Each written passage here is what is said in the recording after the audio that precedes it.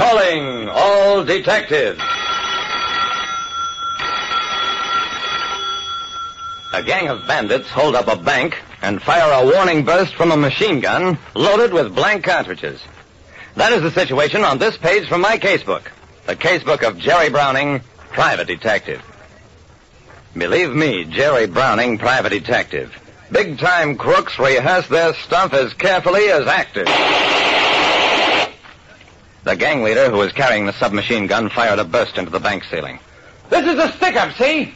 Okay, boys, scoop up the dough. Standing well out of camera range, the bank president and I watched the scene being filmed. Personally, it wouldn't have fooled me for a second, because when the gang chief fired into the ceiling, no bullet scars appeared. His machine gun was obviously loaded with blank cartridges.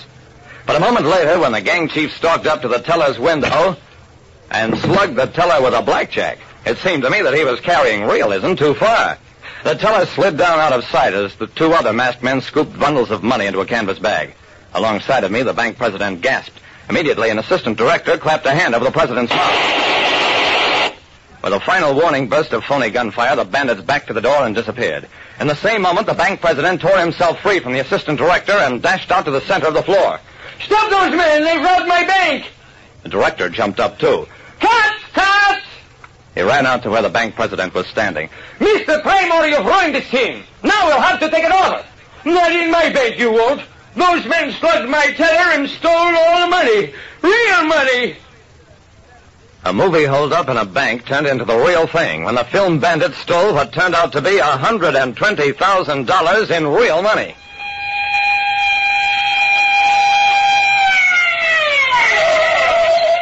Up to that point, I'd been a spectator.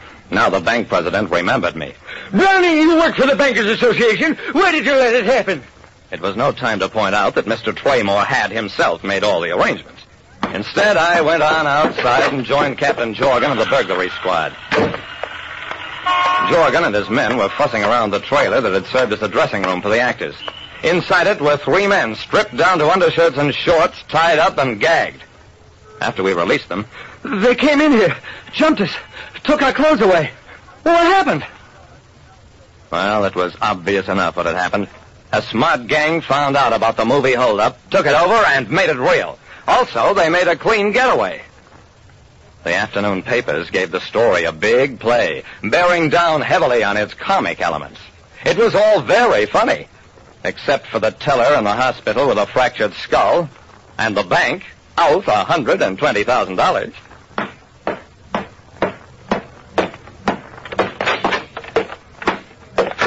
Henry Clay Williamson, head of the local bankers association, was a big red-faced man with no sense of humor.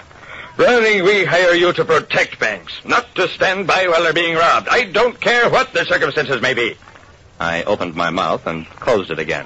Don't tell me anything about Traymore giving that movie company permission to shoot. Traymore's a fatuous, addle-headed fool. Go on out, recover the money, arrest all persons responsible, and don't put in an expense account. I grinned weakly. Eh, yes, sir, Mr. Williamson.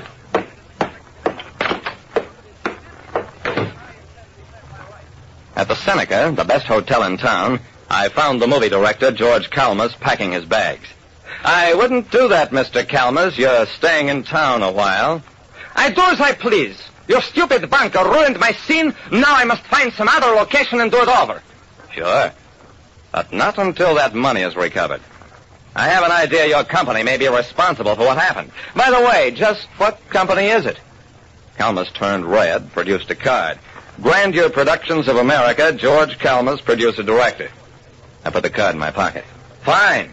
I'll check on your company immediately. In the meantime, if you try to leave town, you'll be put under arrest.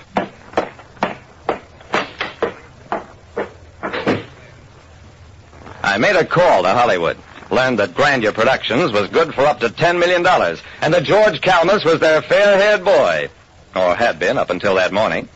Now, I gathered, he was on his own.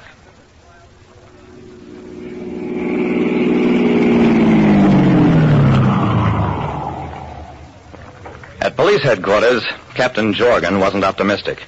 Uh, too much confusion after the holdup. Gave them too much of a start. It'll take a lucky break to solve this one, Browning. I groaned. Oh, if we don't solve it, I'm a cooked goose with the Bankers Association. Jorgen grinned. You have played for a chump, Browning. Letting a real hold up his stays right under your nose. After being in this business as long as you have, it's about time you recognize the real thing from a phony. But Jorgen, that gang leader used a machine gun with blank cartridges. I stared at the amused cop. You're right, Jorgen. I should be able to tell the real thing from a phony.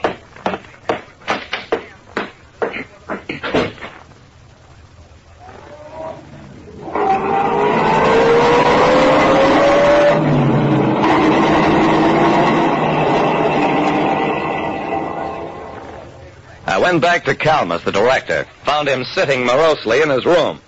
Mr. Calmas, if you don't help me solve this holdup, you're just as washed up as I am. Because your company doesn't want to hear about your troubles. Now, this assistant director of yours, the one who prevented Traymore from giving the alarm on time, what do you know about him? He is the son-in-law of the president of Grandeur Pictures. What else do you want to know? Nothing. Just forget I ever mentioned it. I was almost licked, but not quite. In a suite at a smaller hotel, I found the three actors who were supposed to play the bank robbers. I walked in on them, announced, You're under arrest, charged with aiding in a bank robbery. Get your coats, we're going to police headquarters. Two of them got up meekly enough. The third mumbled something about getting his coat from the bedroom and tried to get out through the fire escape. When I finally got him downtown, he identified himself as Danton Caldwell, a bit player. For two hours, he claimed he knew nothing about the bank robbery. Finally wilted when confronted with a record of a previous arrest on the coast, admitted that he and a group of actors had planned the holdup. Before morning, police surrounded the hideout where the three amateur bank robbers were waiting for Caldwell to join them. He did, in a cell. How did I know the job was planned by somebody in the movie company? because of that machine gun loaded with blanks. A gang of real bank robbers might take over a movie setup, but they'd provide their own weapons, not use prop guns. Yet, strangely enough, it was the prop gun with its blank cartridges that made the robbery succeed, that kept me from interfering. Like I said, I've seen some fine acting from big-time crooks, but I never met one yet who loaded a gun with any other purpose than to kill. It's only in the movies that they fire blanks and people fall down on cue. Listen next time to Calling All Detectives, mystery drama, mystery quiz, and a chance for you to match wits with yours truly, Jerry Browning, private detective.